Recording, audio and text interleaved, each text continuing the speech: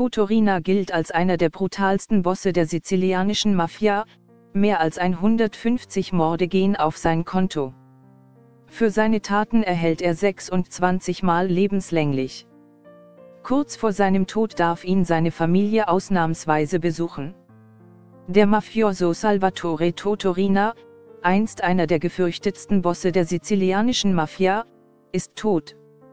Der 87-Jährige starb in der Nacht zum Freitag im Krankentrakt des Hochsicherheitsgefängnisses in Parma, wie italienische Medien berichteten.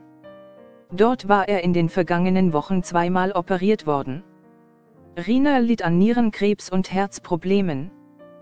Rina wurde für mehr als 150 Auftragsmorde verantwortlich gemacht und 26 Mal zu lebenslanger Haft verurteilt.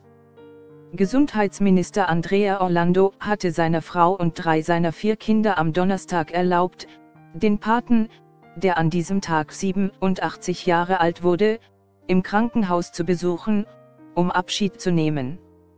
Dem seit 1993 inhaftierten Mafioso war es normalerweise untersagt, Besuch zu empfangen. Sein ältester Sohn Giovanni sitzt wegen vierfachen Mordes im Gefängnis. Sein anderer Sohn Salvatore schrieb auf Facebook, Du bist für mich nicht Totorina, du bist einfach mein Vater.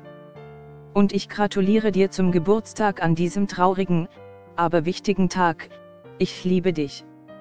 Der Label war die Bestie, genannte Rina, war fast 20 Jahre lang einer der brutalsten und gefürchtetsten Paten der sizilianischen Mafia.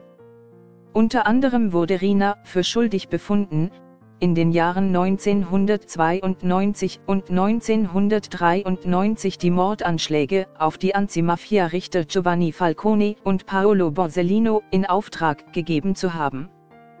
Außerdem war er nach Überzeugung der italienischen Justiz einer der Drahtzieher von Anschlägen in Rom, Mailand und Florenz, bei denen 1993 zehn Menschen getötet wurden. Im Juli hatte ein Gericht einen Antrag Riinas abgelehnt, ihn aus Gesundheitsgründen freizulassen. Die Ärzte schätzten seinen Geisteszustand als wach ein. Vor diesem Antrag war er abgehört worden, dabei hatte er gesagt, dass er nichts bereue. Sie werden mich niemals brechen, selbst wenn Sie mir 3000 Jahre geben, sagte er. Quelle, n-tv.de